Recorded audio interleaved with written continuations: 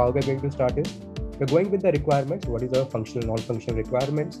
Then we talked about consistency availability, as I believe most of you should be knowing about CAP theorem. Even if you don't, I'll just brush up a little. Then we'll go for estimate requirements, client server versus P2P architecture, WebSocket versus long polling versus short polling. Then we go for the persistence in storage, like do we have the permanent storage, do we don't have permanent storage, etc. etc. Then we talked about three message scenarios. I'm 100% sure majority of you have used WhatsApp or Facebook Messenger or maybe both of them, right?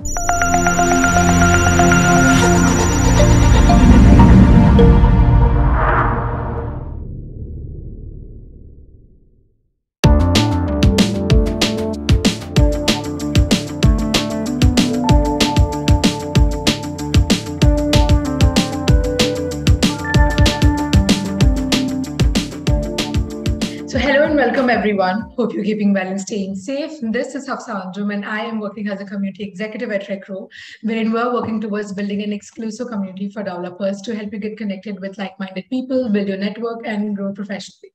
So those who don't know about what Recro is, it is a developer-focused platform helping developers to meet the right opportunity by connecting them with fast-growing startups such as CureFit, Udaan, Swiggy, Dunzo, etc.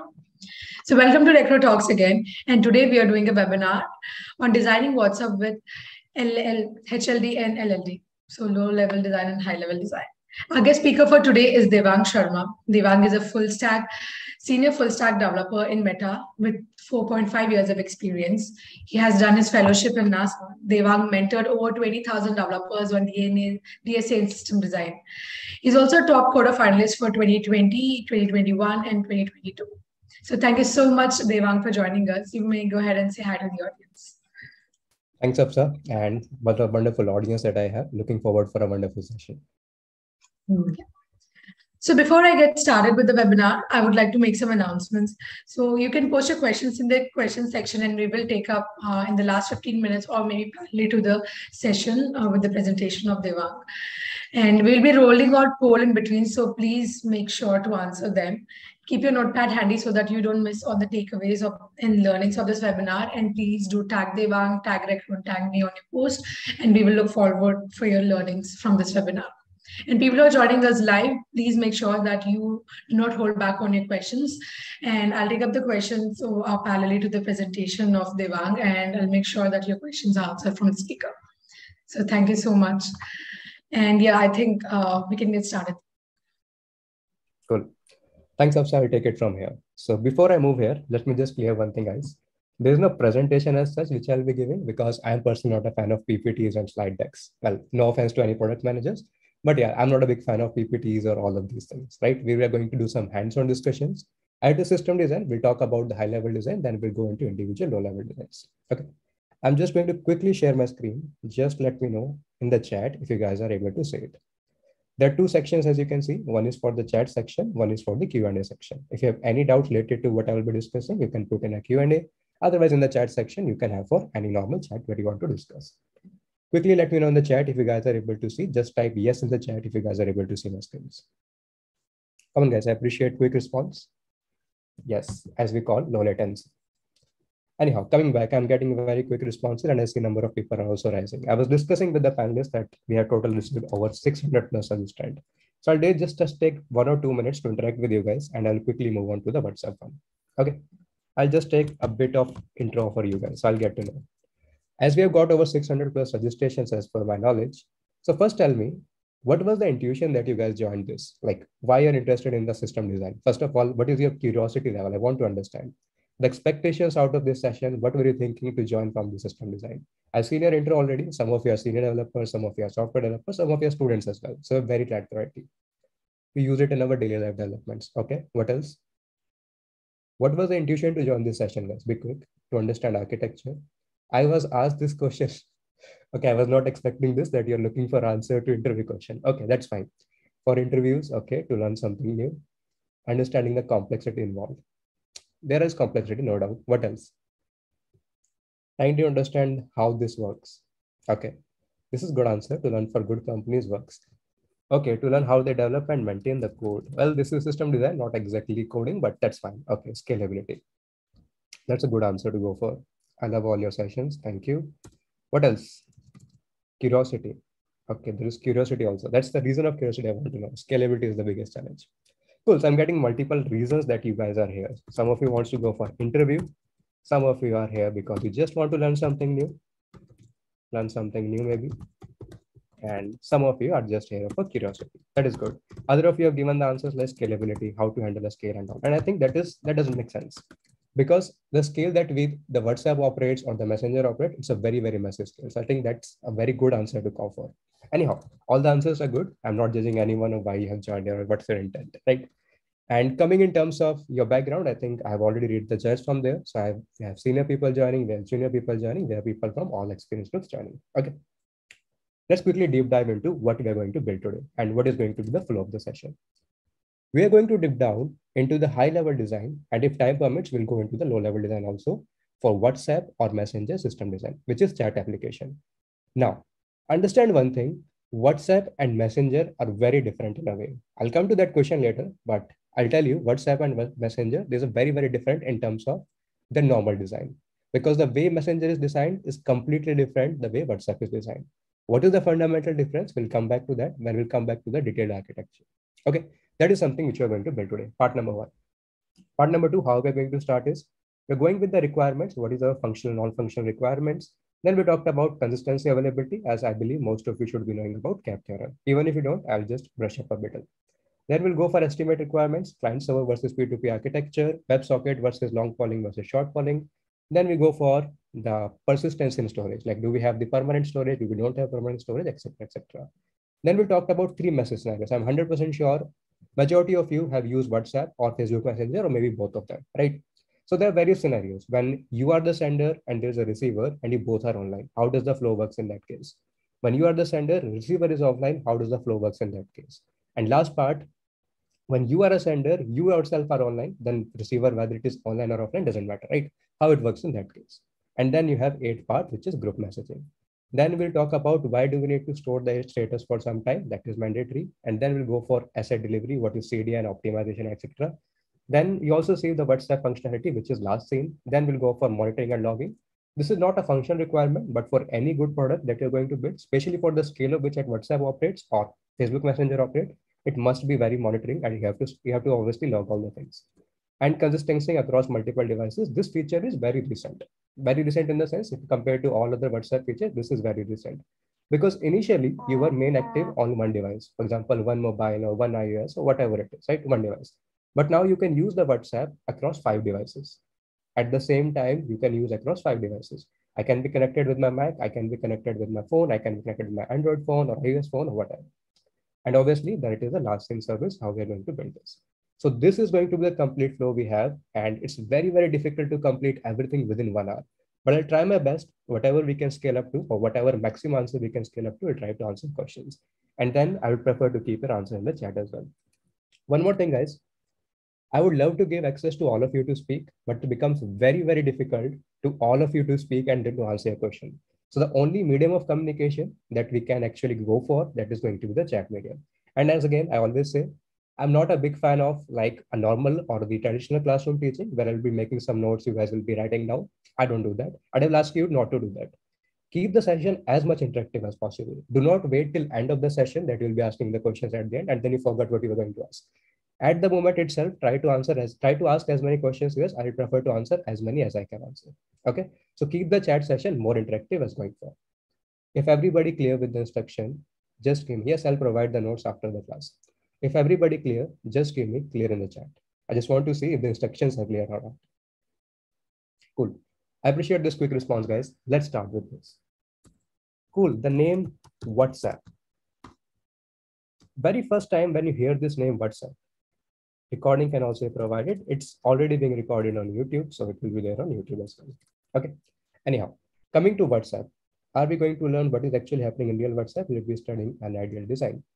Well, it's a combination of both. If you are asking like the actual service which are used there, that I cannot share with you, but how it's the overall diagram looks like, that I can share with you. Okay.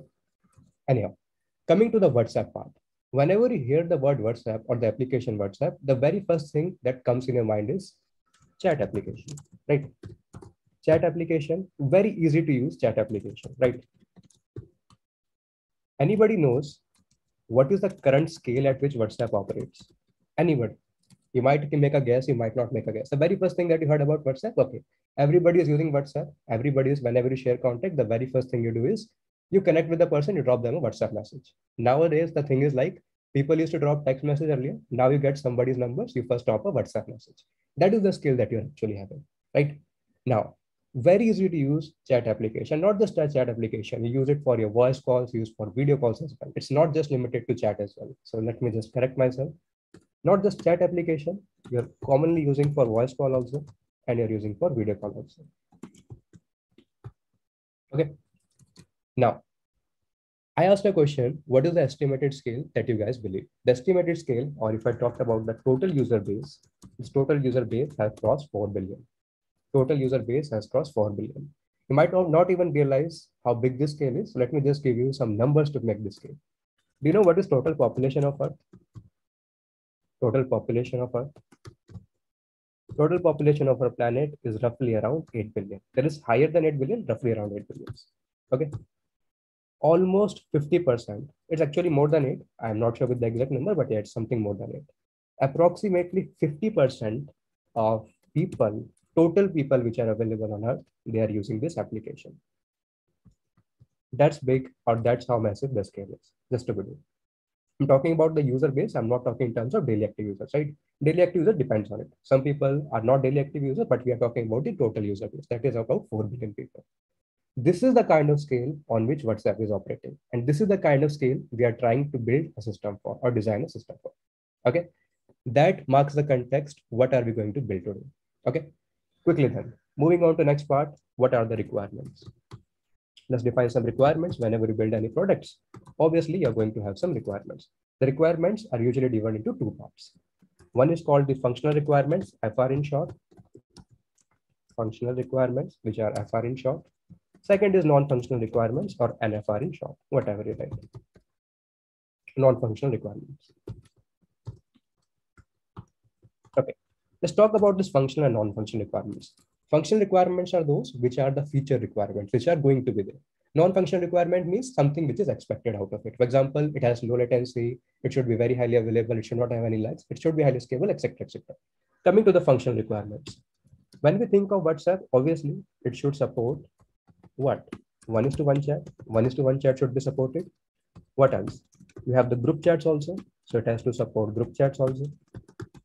What else? Do you only chat on WhatsApp? No. What do you do? You actually send image also, you send video also, or whatever file sharing system that you can think of. It can be GIF or whatever it is, right? It is file sharing system. Okay. What else? You can see the status. By status, I will specifically say the word story. You can see the story of a particular person, which is valid for 24 hours. Okay. What else? You can obviously use calls and videos, which includes voice call and video call. Okay, both the functionalities are included. What else? It should also tell you the read receipts. Yeah, payment also. Payment is not part of this discussion, but yes, we can discuss that payment also. It also includes read receipt. What do you mean by read receipt? How many categories of read receipt you know? How many categories of read receipt you know? Correct. Three different categories all of you use WhatsApp. Everybody knows about three different categories. What are the three categories? Quickly tell me. First is sent. Second is delivered. Third is sync. Right? Everyone knows single tick, double tick, and a blue tick. Single tick, double tick, and a blue tick. Right? This part. What else do you have? There is something called last seen time of user.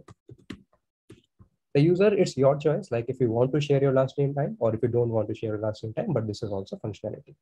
This is what we are discussing for today's scope or for today's discussion. We can say, yeah, the profile and metadata, that is fine. Profile, metadata, status, that is fine. End-to-end -end encryption, that is for that is for the chat application. That is obviously will be there. End-to-end -end encryption will be there. End-to-end -end means what? End-to-end means what? End-to-end means the chat is encrypted at the client end, also it is encrypted at the server end. That is what you mean by end-to-end encryption. Okay.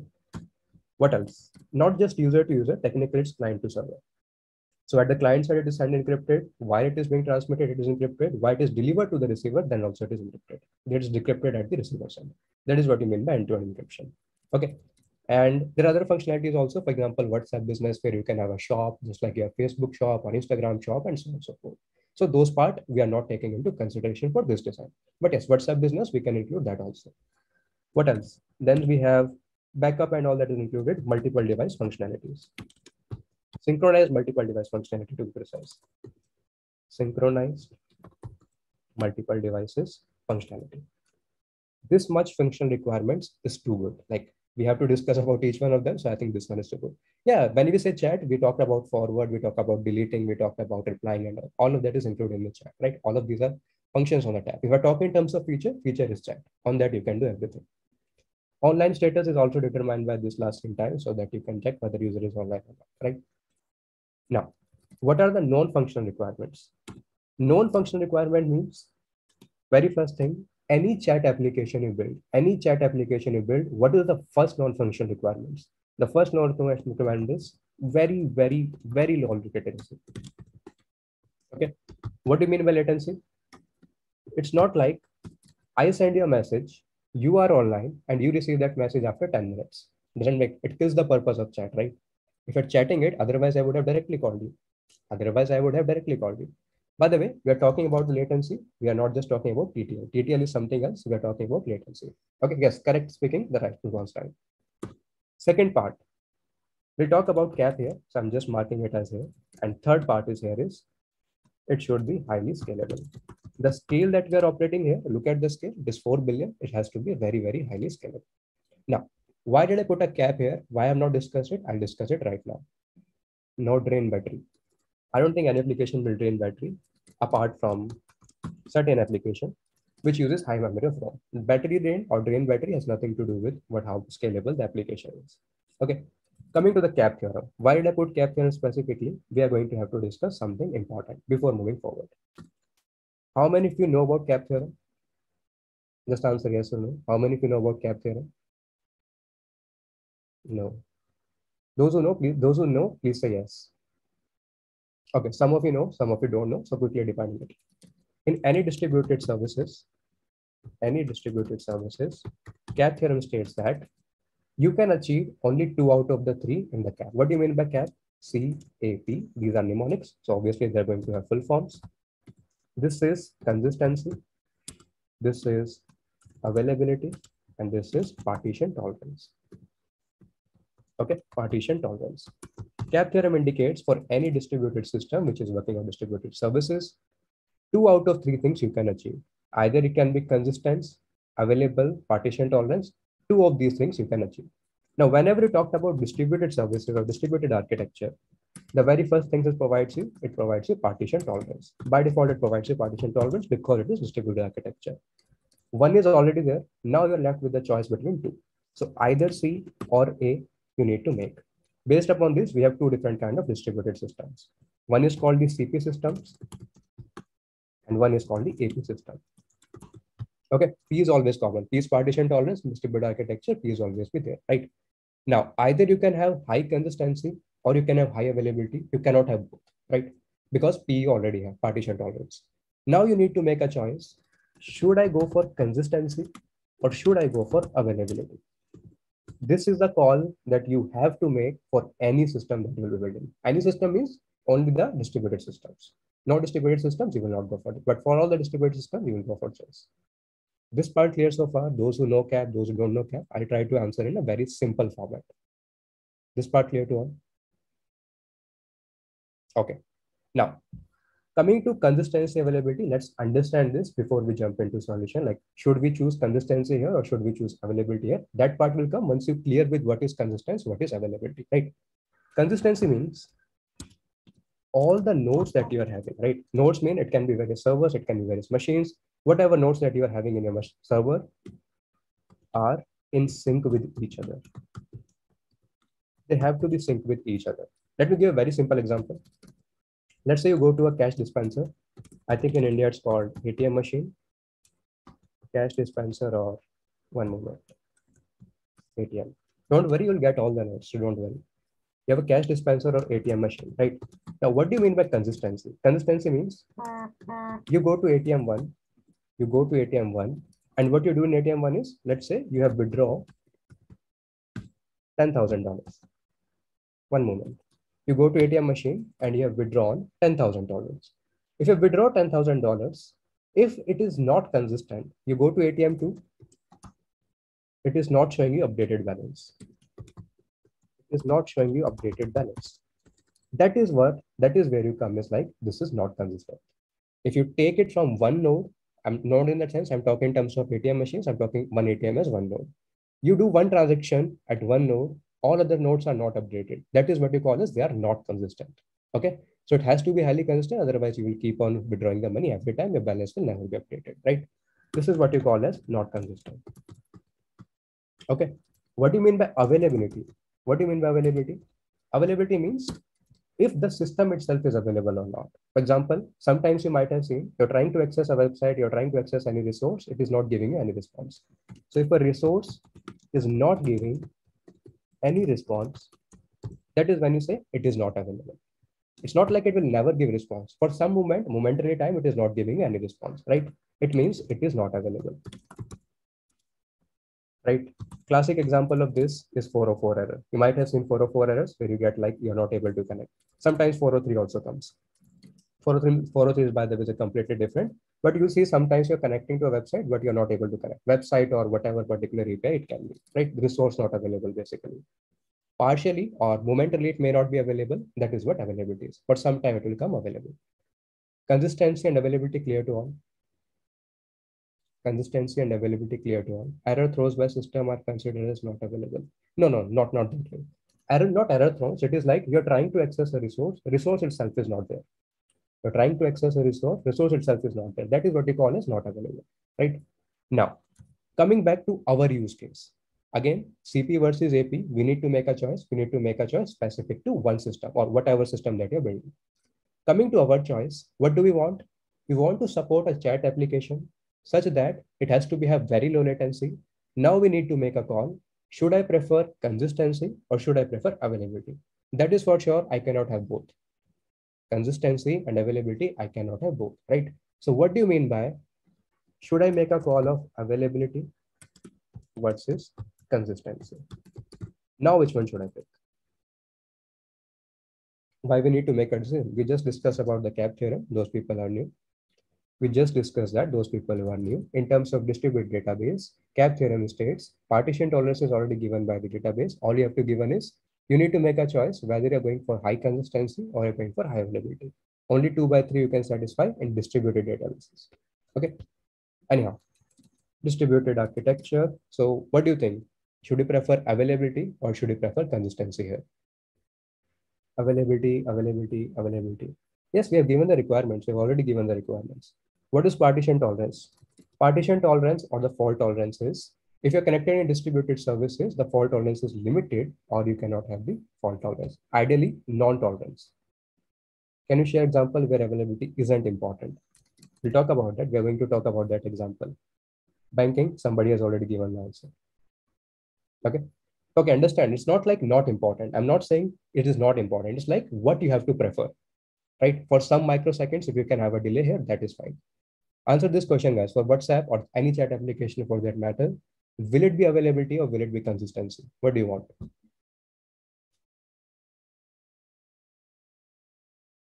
Availability, consistency, availability, consistency. I should have conducted a poll anyhow. Let me let me make you understand what do you mean by availability and consistency. See, if it is not consistent, right? What do you mean by if it is not consistent? Understand this. You, you yourself will give the correct answer. By the way, the correct answer is consistency here. Okay. But anyhow, let me make you realize what do you mean by consistency here? Not consistent means a person sends you a message you received in a completely different order. What does that mean? A person A, one moment, a person says, Hey, Devang, let's go for walk. Just two messages I have sent. Somebody has sent me this message, Hey, Devang, let's go for walk. If it is not consistent, now consistency also has two meanings between the messages and across the devices. We are talking about between the messages. Across the devices, you can also contain. Between the messages, suppose it is not consistent. I will say, let's go for walk. I receive this first and it say, hey Devang. Now, messages were sent in some order. Let's say M1 and M2. This was the send message. What did you receive? You receive M2 and M1. This is what will happen if it is not consistent. Part one. What will happen if it is not, let's remove a typo here. If it is not available, what will happen? For some time, for some time, some microseconds, for some microseconds, it has to be actually less than microseconds, but I'm taking microseconds for safety. You will not have any response. No response from server. What does that mean? Have you guys ever noticed when you connect to what when you connect your mobile data, when you connect your Wi-Fi, WhatsApp chat are not immediately pushed. It takes some time and then it gives the chance. Agree or not? You might have used WhatsApp. I'm, I'm, I'm pretty much sure of you have used WhatsApp. So when you connect with mobile data or you connect with your Wi-Fi, it not immediately gets all the chats. It will take some time. Then based upon the decreasing chronological order, whatever chats have been there, it will show those chats. Older chats first, then new chat first, then new chat first, then immediate chat first, right? Now coming to this case. Now you tell me, I'm giving a use case. You yourself will give a correct answer, whether it is consistency or availability. Will you prefer a delay of few microseconds or will you prefer the complete ordering? You want, you can you believe, so can you have actually a delay of few microseconds to receive the correct order? Or you say, no, I don't want to wait anything. I just want incorrect message. What will you prefer? Minute delay will never go, right? Minute delay will never go we are we have very good engineers to build for. We have preferred built in the microseconds, so it never go to minute. So we'll prefer some microseconds delay, some seconds delay, whatever it is, right? Depending upon how scalable that service is. You want the correct order because some messages, if the order is changed, it completely changes the purpose of the message, right? So that is why here consistency prevail over availability. In this chat applications, consistency will prevail over availability. Okay. Yes, consistency means maintaining the order message also. Yes. That's why I said very first thing, consistency means two things. Consistency can be across the devices also. Consistency means in between the service also, messaging also. So in this case, you will prefer consistency over availability. Even if you have to have microseconds of delay or some milliseconds of delay, that is fine. But you want to receive in the correct order. This part clear to all? This part clear to all? Yes or no? Okay. So one thing is clear. Now I'm just taking this part, why I have kept as a placeholder. So I'm removing that placeholder. We have discussion here. We are clear with our functional and non-functional requirements. Part number one, what we want to build, how we want to build, that part is clear. So I'm making this done. I'm making this done. Now I'm going for estimate requirements. Estimate requirements is also very important to understand how many scale I would need or how many people are going to use my application corresponding to that, what is the scale I need to make. Now, coming to part number two, first part we have discussed, which is here, requirements. Part number two I'm discussing, which is estimate, estimate requirements. Okay, rough estimation we have. In terms of estimation, what do we need? The very first thing is we need to know what are our daily active users. What do we need to know? What are our daily active users? Anyone knows what are daily active users of WhatsApp or make a guess about it? Total users versus daily active users is different. Total users versus daily active users is different. Very low latency is same as availability. Subjective question because latency are defined for a particular service. Latency can be subjected to what service we're talking about, right? So always low latency are sending in terms of a only chat that it can be considered, otherwise not. Around 60% as per April 22, and the data can be more, can be less. As per April 22, I'm quoting, it is 2 billion daily active users. I'm talking from April 2022. That's the most recent data I can find on internet. But if anybody has more recent data, you can do it. Anyhow, we are just keeping an estimate, estimate efforts. 2 billion active users on an average, on an average, we're coming to that, why it has so much latency. We're discussing that. Let's build the architecture first, then we'll go for each the individual latency. Okay. CDN, CDN, okay, and CDN is not primarily about latency. CDN is about quickly finding up the data that you're sending, or it is used in the asset service to be very precise. Coming in terms of chat latency, if you're talking about, chat latency is all about WebSocket management. All of them is based upon WebSocket. I'll come to that part, then we can have discussion. But yes, CDS definitely used that is used for asset service. Asset service means images, videos, graphics, whatever you're sending. Now, coming to daily active users, it is 2 billion. On an average, one user sends 50 messages. On an average i'm talking about per day. So what is total number of messages you will have? Total messages per day? 2 billion into 50 it is 100 billion. All agree? 100 billion per day you are having. Simple mathematics, clear to all? Okay. Now just we have talked about the messages per day. Now assuming, assuming, let's say out of this 100 billion, let's say an average size, average size of per message is 100 bytes. This is the average size I'm talking about. Okay. So total size of messages per day. That will be what? That will be 100 billion that you're sending right now into 100 bytes. That will be what? 100 billion into 100 bytes. That is going to be 10 terabytes per day. Easy? Not easy, but it's 10 terabytes per day. This is the kind of storage that you're looking for. And this is per day. And remind you again, when i'm say about this message of 100 bytes, I'm just talking about chat messages. I have not included photos, I have not included videos, I have not included metadata, I have not included compression. I'm just talking about pure chat messages. If you include all of that, the number will go even bigger. Okay. Anyhow, we are talking about estimated storage here. So we're not talking about the exact storage here. 10 terabytes per day. 10 terabytes per day. That is the scale that you're operating in terms of database. Now, if I talk about five years of chat history, I have to store five years of chat history. Just an example I'm taking. That will require how much? One day you are having 10 terabytes. 10 terabytes into what? 365 days in a year. You can count the loop years or will not make much difference by the calculation. Into what? For five years. What will that number be? What will that number be? That number will become 18 petabytes. This is the kind of storage we are talking about. 18 petabytes. Hope WhatsApp is not storing much. I will answer that question, but coming to this, it is not storing. Okay. Anyhow, this is 18 petabytes. Again, this is a rough estimate we have. Why a rough estimate? Obviously, more customers will keep on adding or more users will keep on adding, more messages will keep on forwarding. So this is kind of a ever increasing database. If you pretend, or if you pretend in the sense, if you try to store in a database, this is going to be ever increasing memory. 18 petabytes you need for five years. Then you can obviously multiply for whatever number users. What does it not include? I want to specifically mention here. We have just talked about the chat message. It does not include any videos, any images. After that, you have compression on the top. For compression, no metadata. I have not counted the metadata, where it is sent from, how it is sent for, which time it is sent for. All of that is there, right? In metadata, you have the name, whoever the sender, not necessary name. You have the UUID. From that, you can have a lookup for name. From UUID, you have the location, you have the timestamp and multiple other things. Longitude, longitude in the location.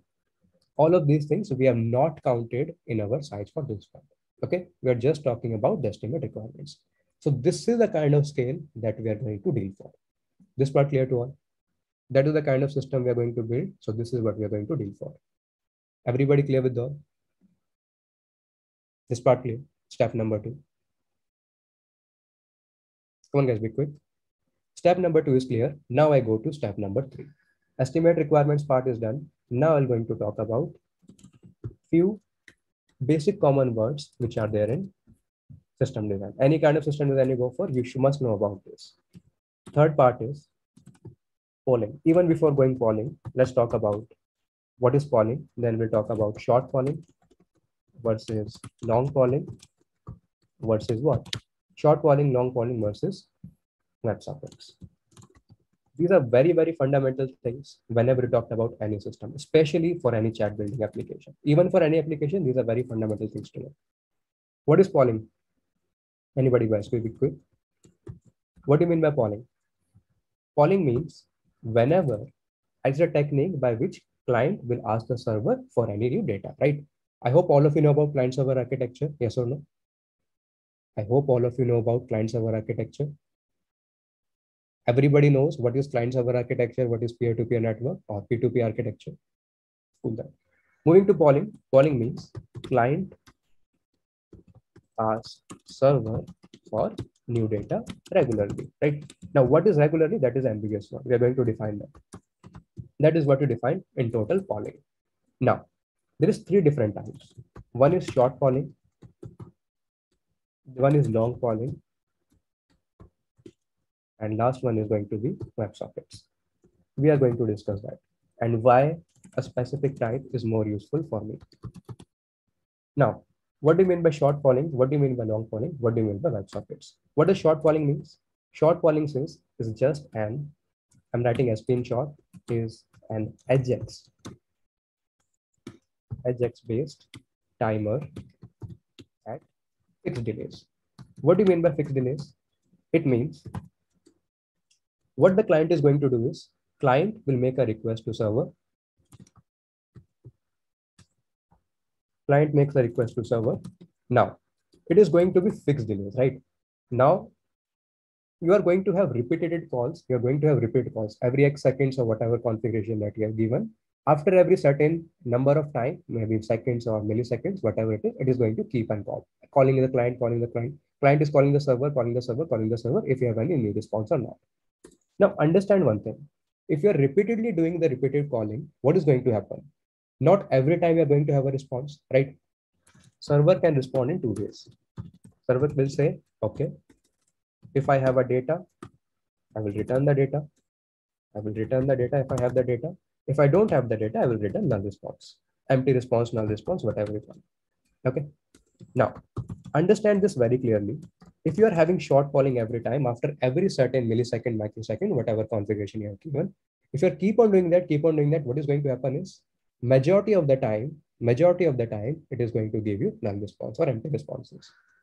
Or downside of this, majority of requests have empty response.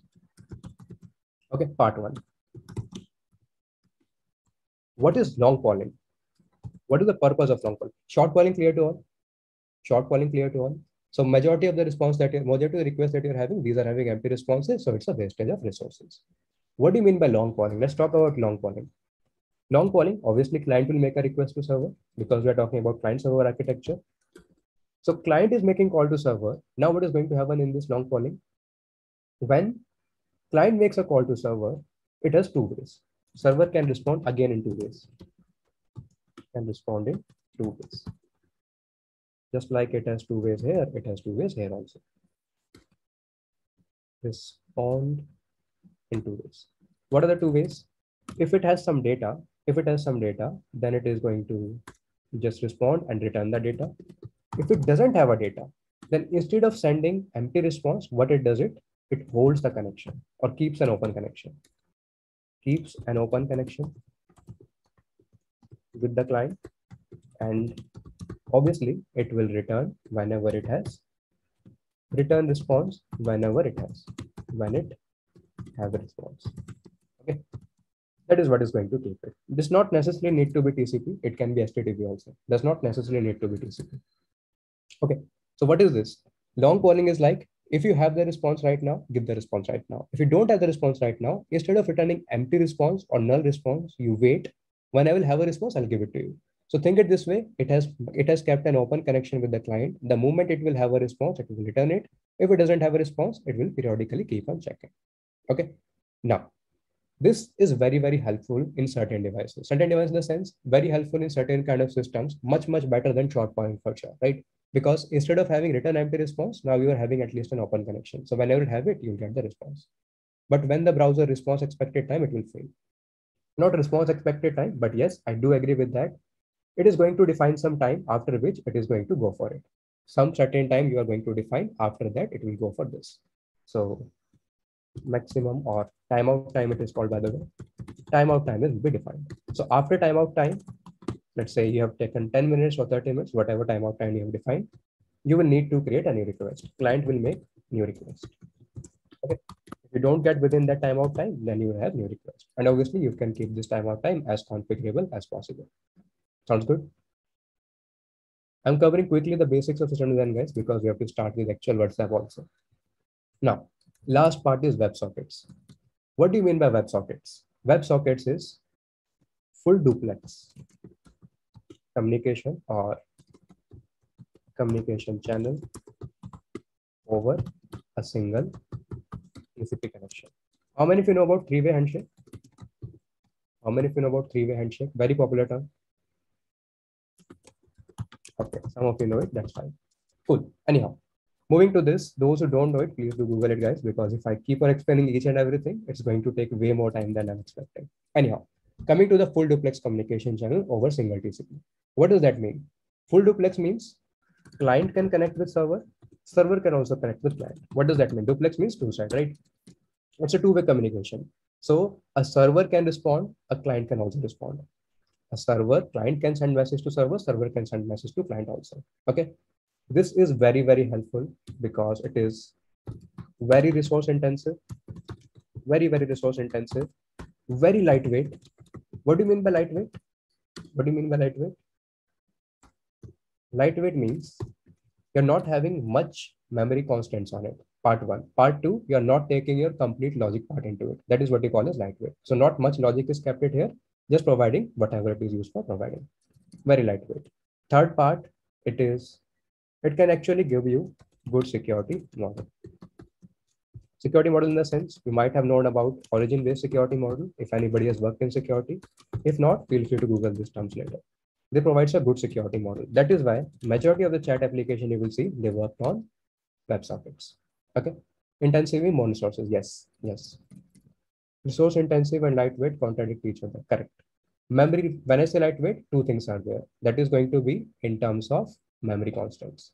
Okay. That is what you call as lightweight. Now, good security model, example of origin-based security model or some other security model that you can read about. This good security model actually evolved from origin-based. Cool these are the very basics of what is polling, what is short polling, what is long polling, what is WebSockets. Okay. Is WebSocket different from TCP or UDP protocol? No, no, it works over TCP only. It works over TCP only. It's not like different protocols. Any use case of using long polling over WebSocket, there we need to store each connection details also. Yes. In terms of we are going to use in our WhatsApp also, we are having both WebSockets, we are having long polling also. We'll come to that. Okay. These are the basics of system design. That's I've completed this done.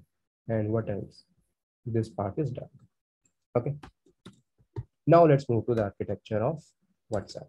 So I'm just going to share my screen to show the architecture of WhatsApp. Then we'll go into each of these services individually. These terms were most important to know because if you don't know these terms, you will not understand a single thing about the architecture. So I have to clear these terms. Let me just share my screen. Let me know once you guys can see it. Can you guys see the architecture? Can you guys see the architecture? Okay. Now I'm going to deep dive into the architecture part. Moving into this, let's talk about the fundamentals. What do we have in this architecture? Then we'll go in detail. So I'm going to take this, move this it. I know for first time user, it, it might look very, very difficult or cumbersome, but it is not. Let's make it quite easy. What we're going to focus right now is we are going to focus on this part. And let me change some other color also. Let's make it blue. This user one is user one, U2 is user two, U3 is user three. This is load balancer. This is WebSocket handler one. This is WebSocket handler two. This is WebSocket handler three. And here you have WebSocket manager. We'll go to each one of them. What does they do? This group message will be connected with this group messaging service, which we'll use later. Our focus for this part is this area. We want to understand what is this WebSocket handler? What is this WebSocket handler? What is this WebSocket handler? What is this WebSocket manager? And what is this message service? This is the key area that we are going to focus on right now. Okay, this is what we are going to focus on right now. Now, moving to this, let's go back to our Sublime text. Moving to Sublime text, here I am. Okay, we just understood there was something called WebSockets, there was something called WebSocket handler. Let's talk about in detail. Architecture in detail. Okay, very first thing that you have seen is there were some WebSockets. Also one thing guys, this particular image is taken from Code Karle. So the credit is to the respective owner. Anyhow, coming to the architecture, what do we talk about in terms of architecture is there was something called WebSocket handler. What do you mean by WebSocket handler? Let's talk about this. We just mentioned that WebSocket handlers are just a lightweight servers. This is just a lightweight server. What does that mean? You're not building too much logic into it. You're too much kitching too much memory into it. This is just a lightweight server or a machine, as you call it. A machine has how many ports? A machine has how many ports? Anyone knows? One machine has how many ports? Come on, guys. 65K. Why 65K? Why not 100K? Why not 500K? These are very basic questions. This is something I believe everybody should know. How many ports a machine has, guys? Power of two something. Yeah, what is that two? Anyhow, guys, read about this. This is something very important. Any server that you're talking about, any machine that you're talking about, that's will yes, input output, both the ports I'm counting for, right? On an average, a machine has, technically speaking, it is 65 to 36, right? But 236, not this much, 236. Okay. Anyhow, total ports that a particular machine or a particular server that you say, you say it has 65K all of the total ports is 65K. You're using for input, you're using for output, you're using for internal usage, whatever, total 65K. Now, on an average, if I take that internal usage, I'm keeping 5K ports. On an average, I'm keeping 5K ports. So what are the pending ports or remaining ports? The remaining ports become 60K. So one, one WebSocket handler can use 60K ports. Now, what is WebSocket handler actually doing? A WebSocket handler is just telling you what a user is connected to which WebSocket handler. That's all. WebSocket handler, WSH in short, keeps track of what user is connected to connected to it. Okay. So this WebSocket handler, it keeps a long polling or an open connection or long polling with what? With each user. Now, obviously, if you're dealing with a scale of 4 billion users or let's say 2 billion active users, one WebSocket handler cannot do that. So one WebSocket handler can manage up to 60,000 users, right? So now total number of users or total number of servers that you will need, total number of WebSocket servers that you will need, you can have 60,000 or total number of users divided by 60K. That is how you can predict what is the total number of servers. It means the server has 65 ports and handle these many requests. Yes, one port and one request, one request and one port to be precise. Now, not exactly 65K because some are already reserved for your internal purposes. That's why I've already kept 5K ports for internal purpose, whatever you're using in internal usage, connecting with across the services also, right? So which is open to public 60K. So it can handle 60K concurrent requests. One server can have 60K concurrent requests. So 60,000 users, 60,000, yes, you will get these nodes. 60,000 users, it can manage at one time right? Obviously, 60,000 is not our user base. Our user base is 2 billion that is on active usage. So we'll need 2 billion. So obviously total number of servers we will know it's going to be more than WebSocket handler. But how it overall works, that is what I've told you. Okay. After going to this part, what do we need? Second part that we see, there was something called WebSocket manager. Okay. Now, what is that WebSocket manager? WebSocket manager stores the mapping. What is the mapping? The mapping is in every WebSocket handlers, what is the user sphere? And obviously these WebSocket handlers, they will be distributed across different geolocations. Just to mention here, they will be across different geolocation. Why? Of course, to reduce the latency and improve connectivity also across different geolocation. You cannot say all my WebSocket handlers will be in California, all my WebSocket handlers will be in London or in India or wherever. That is not fine, right? So you have to distribute across the databases. Now, across this storing the mapping, what kind of mapping it stores? It stores the mapping. WebSocket handler one, what kind of users it is storing? Let's say 1 to 60K. I'm just giving in terms of ID. WebSocket handler two, what kind of users it is storing? Which is to, let's say 61K to whatever, 120K, so on and so forth. All of these mapping is stored inside the WebSocket manager. This part clear? this part here, that is what WebSocket Manager does. Okay. Now, how many of you know about caching? How many of you know about caching?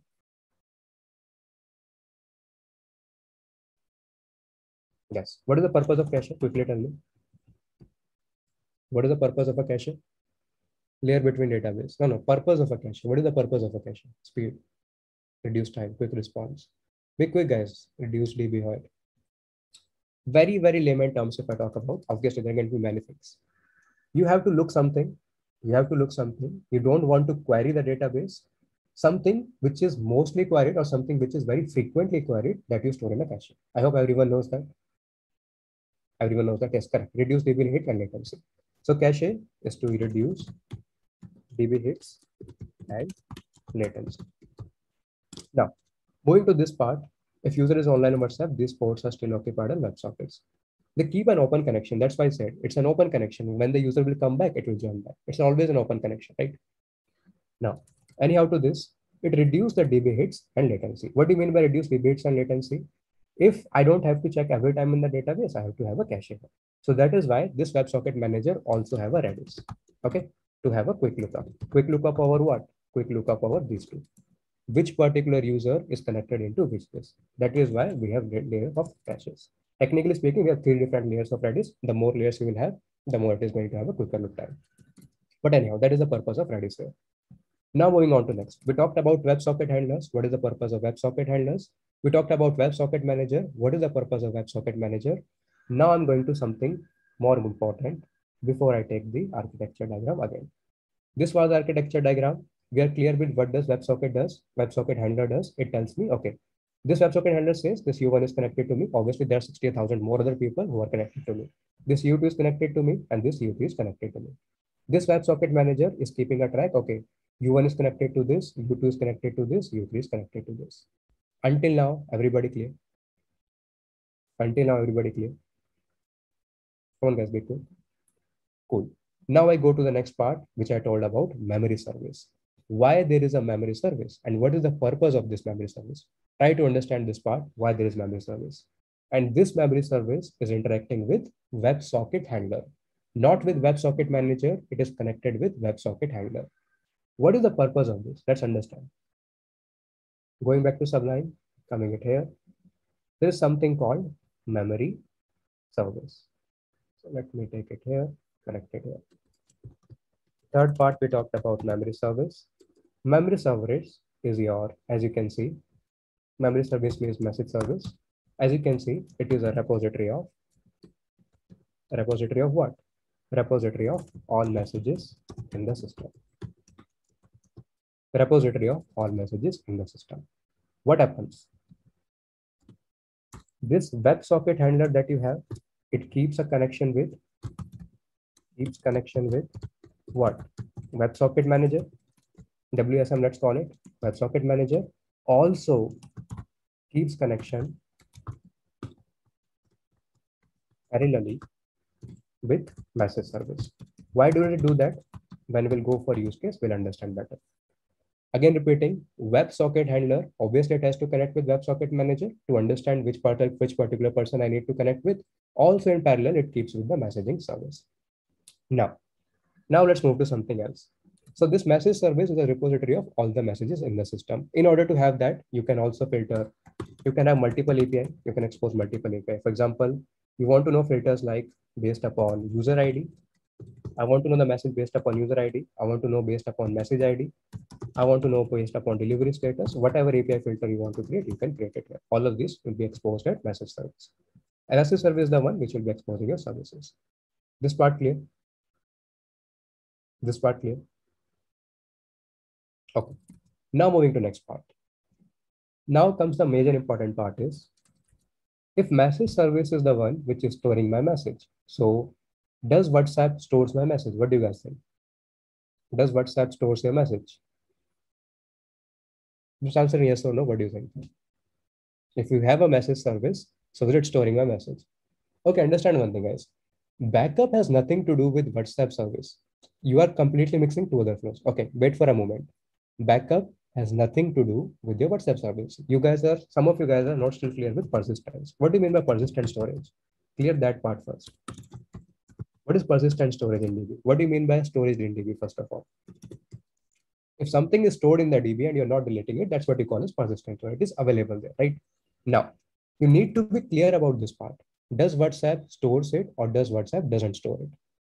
Anybody can tell me the fundamental difference between Messenger and WhatsApp. That is why I said we'll covering this part bit later. Messenger and WhatsApp, what's the fundamental difference? Come on, guys, be quick. Messenger, Facebook Messenger, WhatsApp. What is the fundamental difference? The fundamental difference is your Messenger stores your chat. Your WhatsApp stores your chat only till delivered. And there is a reason for that also. And then, and then deletes it. Okay. Now, one thing to be clear, guys, backup has nothing to do with the memory storage. You're confusing the entire two different things. WhatsApp memory service, WhatsApp messaging service has nothing to do with the backup. Backup you are doing for you guys, right? Your backup is not even stored at WhatsApp. Your backup is stored in, in your Google Drive. Agree? Your backup is stored in Google Drive. Google Drive is owned by Google, WhatsApp is owned by Meta. Why are you confusing two different flows? It's not even the same company, right? Anyhow, moving to this part, WhatsApp stores your chat only till delivers. Again, when you mean by store your chat, doesn't mean that WhatsApp is actually reading your chat. It is always end-to-end encrypted. End-to-end encrypted means encrypted at the client side, which is your device, encrypted the server side, which is at the WhatsApp. So nobody can have access to your chat. Nobody can have access to your chat. It is end-to-end encryption always. Anyhow, stored in it so that it can be deleted later. If anybody wants to test this, I would recommend, I'll go for this. DB that we use for is Cassandra. Why Cassandra? I'll go for that also. Anyhow, coming to this messenger, you want to prove it that whether messenger stores chat or not, just do one thing. If you have messenger in your application, if you have messenger in your application, just uninstall the messenger and reinstall it. What will you see? What will you see? You will see all the chats are as it is. You will see back all the chats. Not even a single chat will be deleted. Why? Because every chat is being stored. Uninstall and reinstall, you will see all the chats as it is.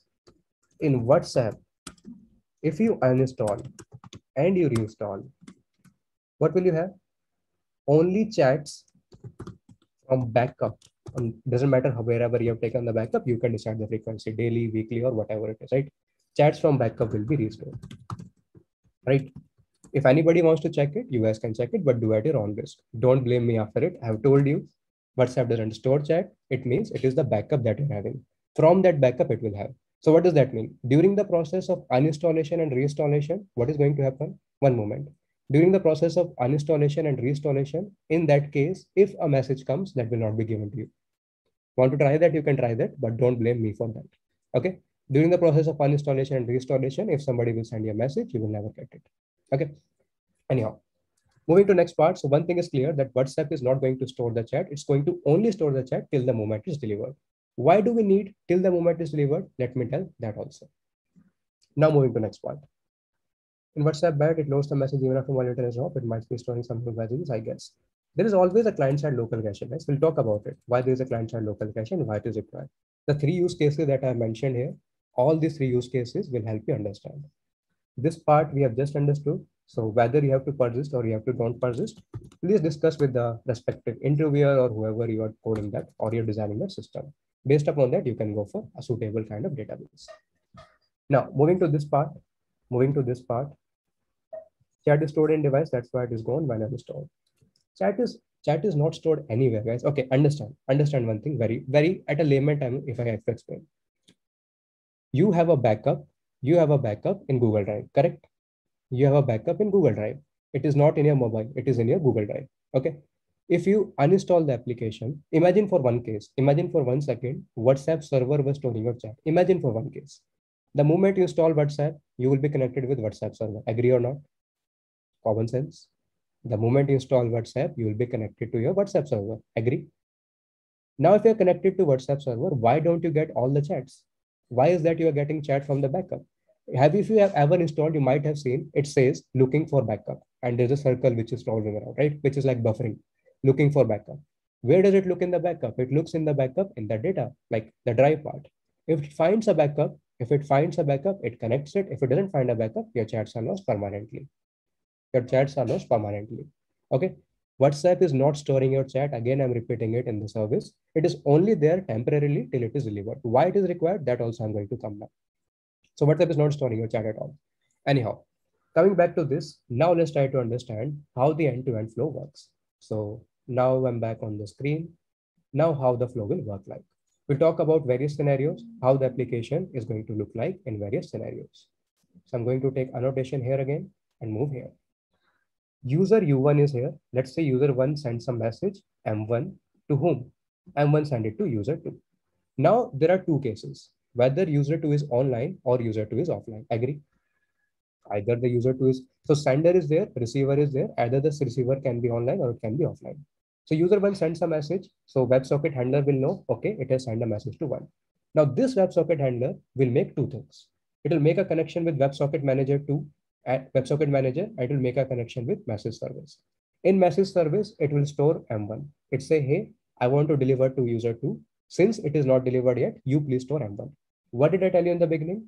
WebSocket handler is a lightweight. You do not keep messages here. You don't keep any server things here. It is just a lightweight server. Okay. No logic needs to be kept here. So message service says, okay, give me M1. I'm going to store it what? I'm going to store it transiently. Transiently, I'm going to store it till it is delivered to user two. This part clear, why it connects with message service, yes or no? Why WebSocket handler connects with message service, yes or no? This part clear. Why it is not clear? Understand this. This is a lightweight service. It cannot store the message. Who can store the message? Message service. Who can store it? Because it has a database, which is Cassandra here. Why we don't go for Cassandra? Well, it's a good discussion to go for which database to go for. The very first thing is the kind of scale that you're reading, you're reading for always ever-growing database. And then you're going to have multiple read queries. Cassandra is the suitable database for that, right? In terms of distributed databases, Cassandra is one of the best database that you could go for, which can offer you ever-growing database. Well, there's nothing called ever-growing, but efficiently speaking, very quick over time, it can give you ever-growing database, right? That is why WebSocket handler will say, okay, I want to send M1 to U2. Please store it until it is delivered to U2. This part clear? This part clear? Okay. Now, moving to next. Why it connects with WebSocket Manager? Why it connects with WebSocket Manager? What does WebSocket Manager stores? WebSocket Manager keeps a track of which user is connected with which WebSocket handler. Agree? We talked in the very beginning. Manager is just storing which it's connected with which handler. Does this WebSocket handler one knows that user two is connected to WebSocket handler two? Does it know? Does a handler know what is connected to other handler? No, a handler doesn't know. A manager knows. I'm coming to this. Kafka is not here. Kafka will go for group service. We'll talk about Kafka. Coming to this part, very first question, this handler doesn't know that U2 is connected with this. That's not the task of this handler. That's the task of manager. Handler does not know. Handler just know one thing. I'm keeping an open connection with whatever my 60,000 users. That's all it knows. And that's all it is focused on, right? It doesn't know who is connected with whom. It's the manager task who knows, okay, this is connected with this. Now, it will make a call to WebSocket manager. He'll ask, hey, WebSocket manager, I want to send to U2. Tell me where is U2? So WebSocket manager will say, hey, U2 is actually belonging to WebSocket handler 2. WSH2. Let's make it. Okay it will say it is connected to WebSocket handler 2. Now what will happen? It will get to know user U2 is WebSocket handler 2. It will get to know messages M1. From both of their here and here, it will come now. It will pass M1 and it will pass to U2. This part clear to all? This part clear to all? Okay. Scenario number one. We're going to talk about all the three scenarios. Scenario number one, when user two is online. When user two is online, it will be delivered immediately. It will be delivered immediately, right? Now, will there be multiple WebSocket managers?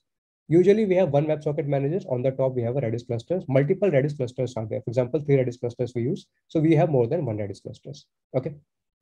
Now, if someone installed WhatsApp and used it once, then deleted the app, the connection with WebSocket server still remains open if the person never used WhatsApp.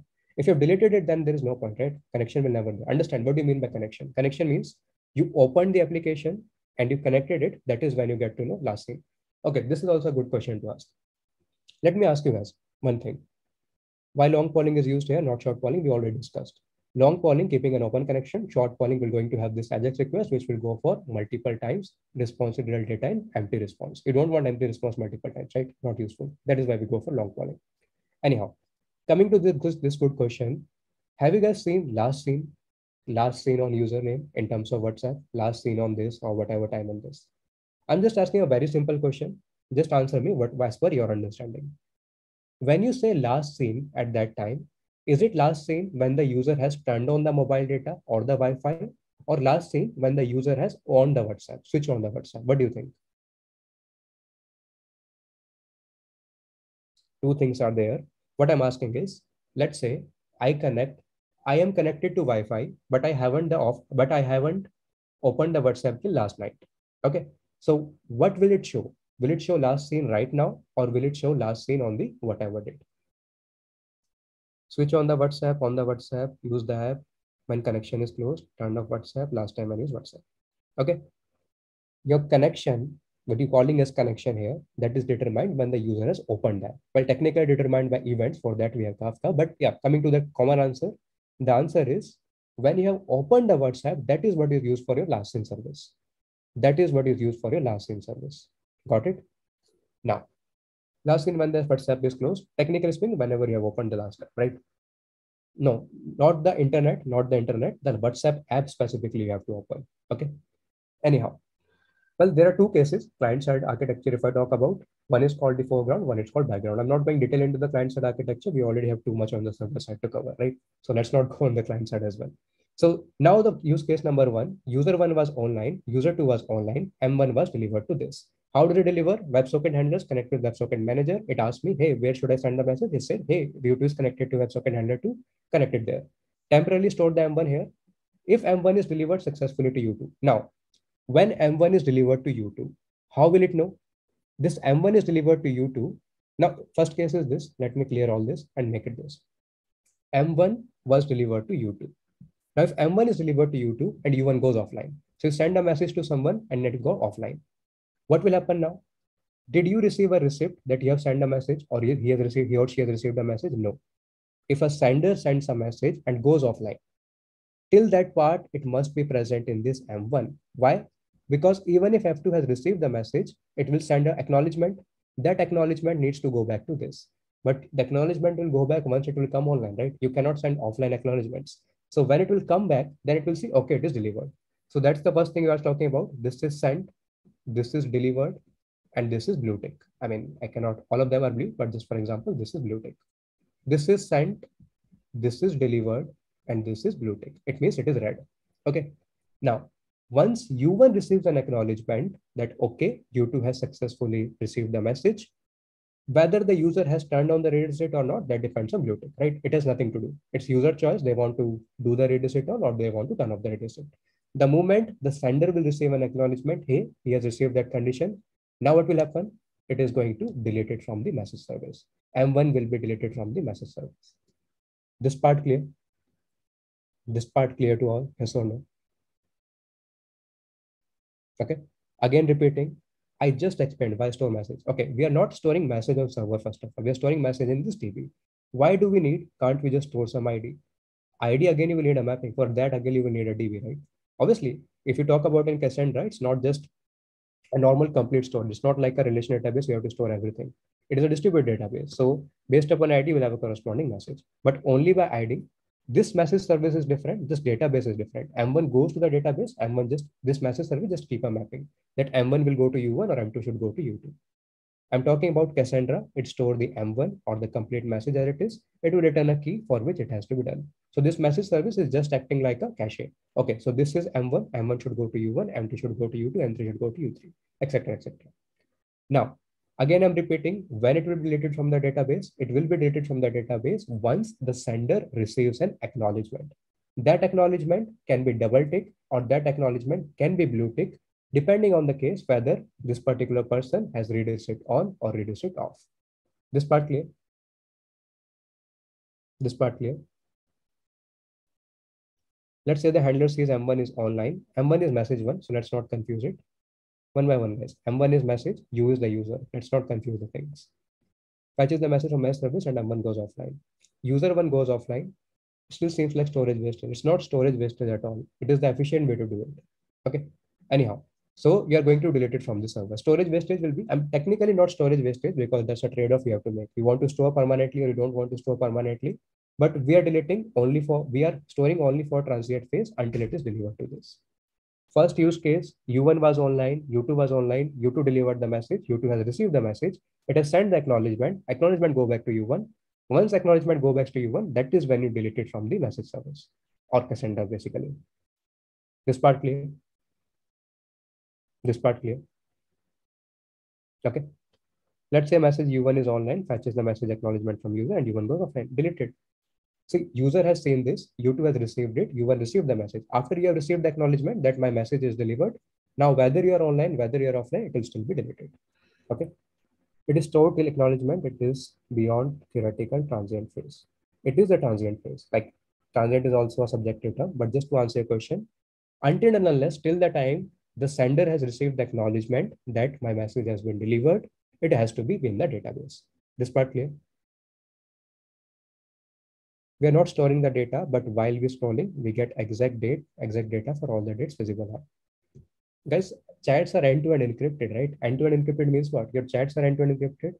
How much service WhatsApp spends in cloud services? I cannot share that details, but I'm pretty much sure on the public page, you can find all the details there. What is the monthly expenditure or what's the quarterly expenditure? What is the role of Kafka? Kafka is used in group service. I'll come to group service later. This is what we are talking about non-group service, which is messaging service. Group service is completely different. What is it used for? End-to-end encryption. Yes, end-to-end encryption. Encryption is at the client side also. Encryption is at the server side also. That's why we have end-to-end encryption. WebSocket connection not service. I'll come to this case, guys. We are running a bit out of time and I have another class. Anyhow, coming back to this, we are back here. Three use cases I want to very clearly define. First use case, sender and receiver both were online. We have talked about this. I'm just taking these three use cases down also. Copy this, paste it here. One moment, guys. How messaging service web sockets are connected. RPC calls. RPC, RPC, remote procedure calls, RPC calls between the services. Okay. Anyhow, coming to this message scenarios, sender and receiver both are online. If sender and receiver, one moment, guys, one moment. When do you delete from database? Delete from database. You delete from database when sender receives acknowledgement that message is delivered. Message is delivered. Not yeah, double tick technically. It may be blue, may not be blue, depending upon three results. This part clear to all? This part clear to all? Yes or no? Okay, step number one clear to all. Now let's go to step number two, which is sender is online and receiver is offline. Sender is online, receiver is offline. So come back here. Who is the sender? Sender is U1. Who is the receiver? Again, let's talk about this case. Sender is U1 here, receiver is U3 here. Sender is U1, receiver is U3. Okay. Now, moving on to this, same flow will happen. Exactly same flow will happen. WebSocket handler, it will go to WebSocket, it will make a connection WebSocket, make a connection with messaging service. In messaging service, it will check WebSocket handler 3. Now, since it is offline, what will WebSocket handler 3 will say? WebSocket handler 3, hey, it is not connected to me. Agree? Since it is not there, this connection will break. This connection will break when the user goes offline. Agree? If there is no connection, the user is not itself online, that this connection will break. So WebSocket handler says, hey, it is not connected. It will return no. I mean, whatever is corresponding status code, it will return no. No LLD will not be covered. I don't think we have time for that. Okay, so it is going to return no. The moment it's going to return no, that's fine. That's fine. The moment it's going to return no, what is going to happen is this message, let's say the message was M3. This message S3 will keep on storing this Cassandra corresponding ID will be mapped in the message service. Now, till the moment R comes back, R means U3 comes back. Now, U3 will come back. Now, to establish a connection, it will update this. Okay, I've received it. It will update this. I've received it. Now it will transfer the message of M3 back to U3. Once it transfer, it will go for the acknowledgement. Acknowledgement goes back to U1. Now you can delete from the database. Exactly same flow. The only thing is, once it is not available, once the user is not connected, it means there is no open connection. When there is no open connection, it is going to update. Okay, there is no open connection further. Wait for it. Once it is once it is back, then it sends the acknowledgement. Once it sends the acknowledgement, you delete from the database. Okay till WhatsApp is O1, U3 will always be at WS3. No, no, nothing always. I've just given an example, right? WebSocket handler is corresponding to what user is connected to what WebSocket handler. Till WhatsApp is open, the WebSocket handler on with the server. That's very much configurable depending upon each individual service. I cannot share the exact time, but due to obvious reasons, but yes, it is configurable. Now, coming back to this, what will happen? This is second part we have seen, we have seen the flow here. One moment, guys, one moment. Step number three, last part I'm taking, I'll discuss all the edge cases. Sender is offline. Now, the sender itself is online. Let's say you are sending a message to someone, you are not connected to it. Does it matter whether the receiver will be online or offline? No, it will doesn't matter. All agree? If you are a sender, you are itself online. If you are not online, so whether the sender is online or offline doesn't matter at all, right? So when sender is offline, in that case, what will happen? There is no data because the data will not go to any of the messaging service, not will go to the WebSocket. There is no connection at all. So if sender is offline, in that case, what will happen is your local storage will come into it. Local storage means local caching. Caching I'm talking about. Have you guys seen when you are offline, you try to send a message, you will never see this single tick. You will never see this single tick when you are offline. Try it out if you want to try it now. Just turn off your mobile data and try to send a message. You will never see single tick. Once you are connected, then you will see a single tick. Agree? Agree? I hope all of you have experimented with WhatsApp a lot. So now what is going to happen? Till a connection is established, till a connection is established, it will be stored in your local storage, which is your cache, till the connection is established. Okay. Now, guys, moving on, considering we have sharp 10 minutes to left, I have few things to cover, which I would like to cover. One major important thing I would like to cover is these were the most important part. How does the chat communication happens? We have discussed all the details. What two major important things are passing? Why storing message status is important? That is also I've done. Group messaging is pending and the asset delivery is pending. Let's talk about group messaging and asset delivery. One moment. When you go for group messaging and asset delivery, try to understand what happens. Blocking is super easy flow, guys. When you block a user, you have completely flown the. So whoever user has blocked anyone, in that case, it will never make a connection to this. Let's understand it this way. User U2, let's say U1 has blocked U2, right? U1 has blocked U2. So whenever U2 will try to send a message to U1, it will never even connect with this. This WebSocket manager, this message service will not even store that message, it will not go. That is what blocking does. That is why whenever somebody blocks you, you will might see a single tick, you never see a double tick because double tick is for acknowledgement and acknowledgement will never happen. Message service will not let that happen, right? That is why you're blocked. If you can manipulate message service, then you can send message to the block server, block user, whatever it is. Anyhow, coming to the asset asset service, guys, this is the last part, not last part, second last part I would like to take, which is equally important. What do you mean by asset service? What do you mean by asset first of all? Asset means users are not just talking in terms of chat application, right? Users are also talking in terms of applications which are messages, it can be videos, it can be images, etc. etc. Agree? It is not just the messages which are being talked about. It is also the videos, it's also the images, it's also GIFs, emojis, whatever it is. Now, these asset service, it keeps a track of whatever that multimedia data is there, it is going to keep a track. It has two component. One is S3. So in S3 also, you're going to have a compressed data. In S3 also, you're going to have a compressed data. What is CDN? What is CDN? Anybody? What is CDN? CDN is used for having a quick lookup or CDN is used for whether the content has been frequently used or not. Those content, content delivery network, whatever content is used a lot of times or very frequently, those will be fetched from S3 to CDN. What can be the example? The best example is you might have noticed whenever there is a political event or there's any sports event or there's any religious events, same poster is circulated every time. Agree?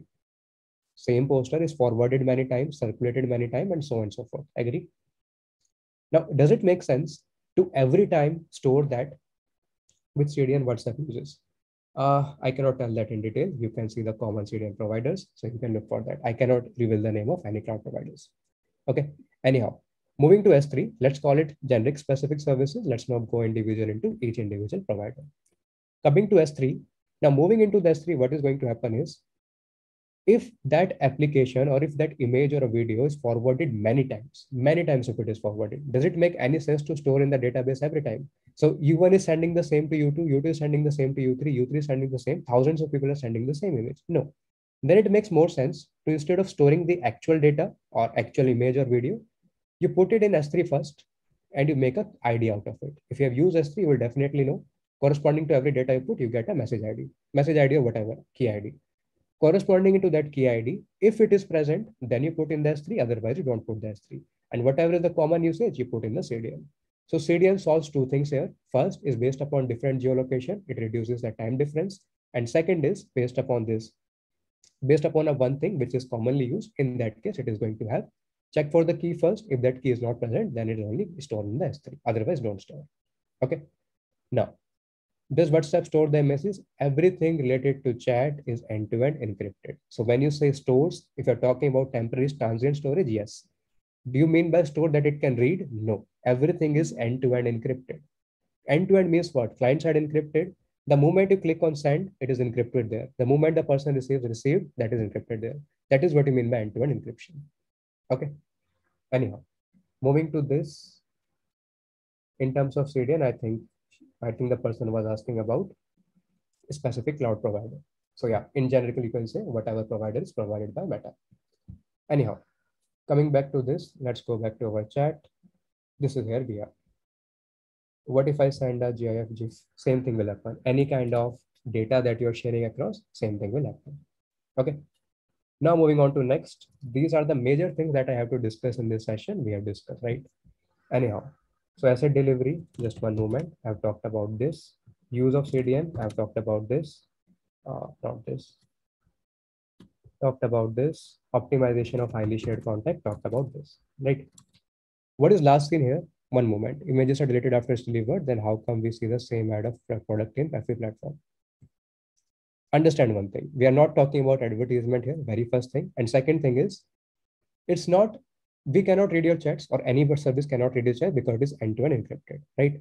But there are certain events or there are certain signals which can tell, okay, this is the kind of event you'll be interested in. It's not just about WhatsApp. There are many other personalized things that you do, right?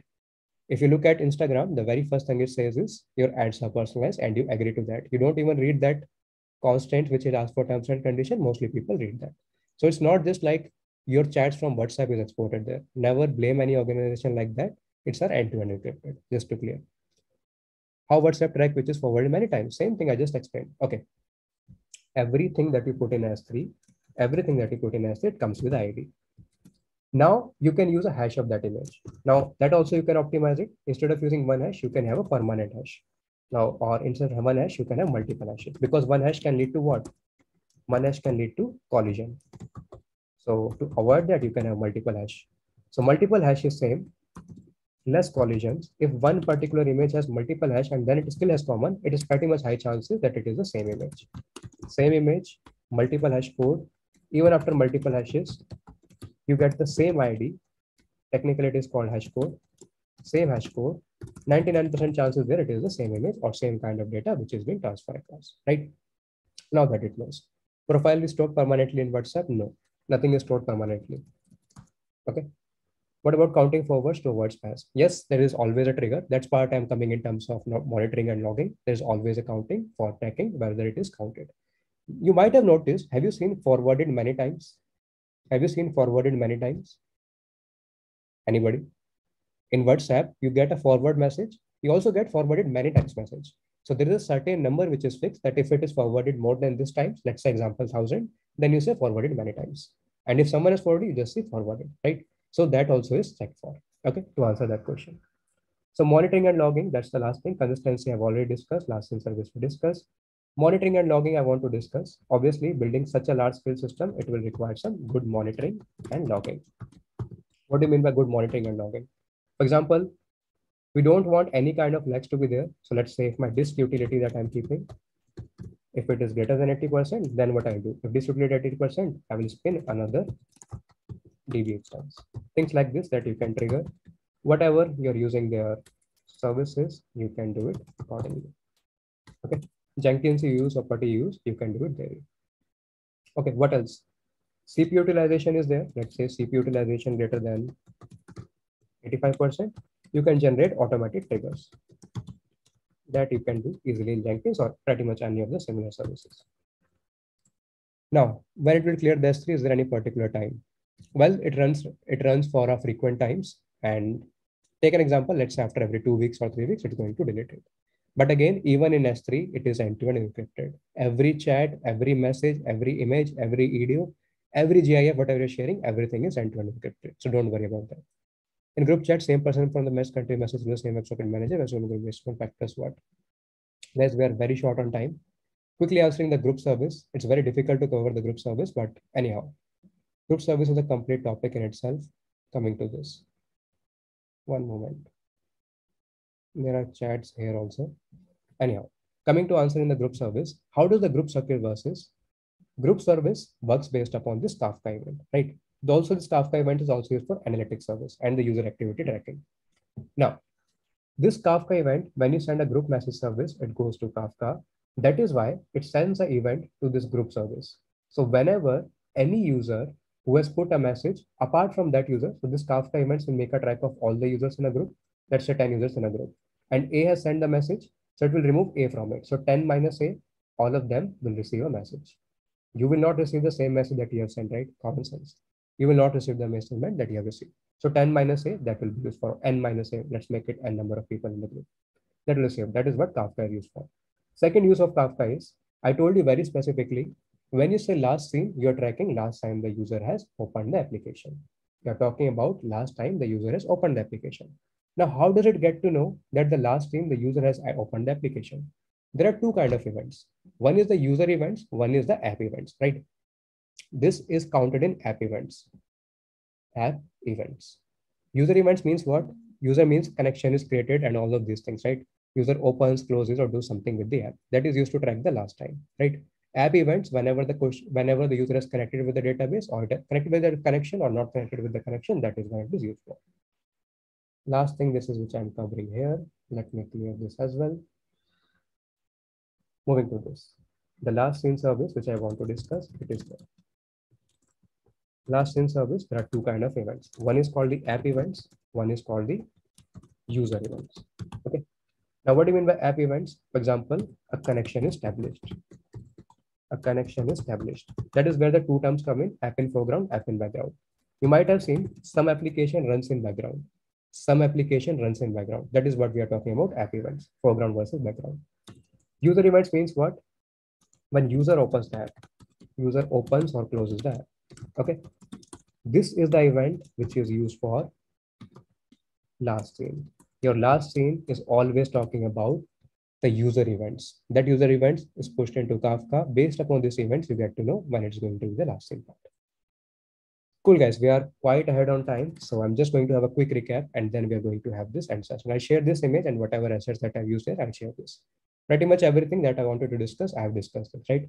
This consistency across multiple devices, I'll push, I'm publishing an article on Medium. I'll share it on my LinkedIn as well. There you can have a detailed description. How SRTP is used, how each device identity key is used, and how it is consistent across all devices. It's not like, also one more thing, when you receive a call and you're online on your iOS or Android or you're online on your Mac also, you'll receive the calls on both. But when you answer on any one of them, it stops the other part. How does that happen? All of this, I'm writing a detailed article here. So you can connect on LinkedIn or you can share my articles on LinkedIn. I haven't published yet. I'll publish it in some time. Then you can take it from there. Cool. So whatever I wanted to cover, the basic things I've covered, not the basic things, quite the fundamental things I've covered. Requirements, consistency, availability, estimation, client P2P architecture, WebSockets. Why do we need to store a DB do we need to store a DB permanently, like in terms of Messenger, or do we need to store transitory, like in terms of WhatsApp? All three use cases we discussed. We talked about group messaging, why storing status is important, asset delivery we talked about, user study and optimization that we talked about. Last event, which events to track, which events to track, user-based events to track. Okay, not the app-based event. So this part is also done. What next we have? Monitoring logging. I have told this. Consistency from multiple devices. I'm writing an article on Medium. You can check it from there. Last seen service, we have done this. It took 90 minutes now, although I have completed this. Cool, guys. Hope you have Messenger also end-to-end encrypt. Yes, messages are end-to-end encrypt, but it is stored. End-to-end encrypt, but it is stored. Okay. Storing and encrypting has nothing to do with each other, just to be clear. Cool, guys. Thanks for joining. I have done from my end, giving it back to Hafsa. Hope you guys have liked the session and have immediately rush to another meeting. Thanks, guys. Yeah. I hope all the questions are answered. Uh, Devang, did you get a chance to look at the Q&A tab? I think there were some questions. Yes, I've answered all the questions on Q&A. Okay, yeah. And uh, for someone who's asking, uh, will we, will this session be recorded? Yes, it is recorded and uh, we are also live on YouTube. So you can just go back and have a recap on the live sessions that we are going with this webinar. And we'll, um, in two to three days, uh, we'll edit the whole webinar and we'll also post the full-fledged webinar with the proper editing. Notes. Uh, I think uh, Devang can share me the notes so that I could add it in the YouTube description. And from there, you guys can pick it up if you want to. And I'll also make sure that um, I'll drop down Devang's uh, LinkedIn and also Medium links uh, in the YouTube description. So uh, you can also go ahead and have a look at the new articles that Devang was talking about. Okay, guys, that was a that was uh, that brings us to the end of this wonderful session. I would like to thank each one of you for joining us. Hope you learned something new from this session. We will look forward for your post on LinkedIn along with your key learnings and takeaways. Don't forget to tag Recro, tag Devang, and tag me in your post, and let us know what's something that uh, you have taken away from this session today and um, the learnings that you had from this webinar. Also, thank you so much, uh, Devang, for joining us. It was awesome having you. Thank you for taking out time from your schedule and sharing such an insightful information with us. Sure. Thank you. Uh, okay, before we end the session, there are a few announcements that I want to make. We have created a developers community called Rebase on Discord. You can join a community for JavaScript developers to unleash your true potential. And if you are someone with two plus years of experience, you can get a chance um, to connect with the fellow developers and also uh, you can connect with them, talk to them, and reach out for help. The link uh, is uh, dropped in the chat, and uh, I'll just drop it again so that you can just go and quickly say hi to the audience over there and connect with the experts in the industry. And uh, we have made a LinkedIn post about the session. Do comment your learnings with this post. And uh, the link of the post is also in the chat. You can let us know what are your key takeaways from this session so that uh, we'll be more than happy and we'll bring speakers like Devang um, for our future events so that you're learning some more upskilled we have uh, if you have more questions you can follow and connect devang and me on linkedin. And if you want more sessions on the same topic we can uh, we'll look forward for getting the speakers like devang so that you can deep dive into the similar topics on a more advanced level if you're exploring career opportunities, Recro is hiring passionate developers. You can check out uh, Recro's current opening and we'll make sure um, that any of your friends or you or your colleagues, if anyone is looking out for a change, we'll make sure to place them in the high uh, A-grade startups of the country. To stay updated with such events, you can follow us on social media. You can follow Recro on Instagram, YouTube, and LinkedIn. And um, the links are in the chat. You can quickly go and have a recap of the session. You can also check out our previous webinars and let us know um, your learnings from those webinars. That's all for the session, guys. Uh, thank you so much for joining us. Hope to see you in the next one. And take care, stay safe. Thank you so much. Thank you so much, guys.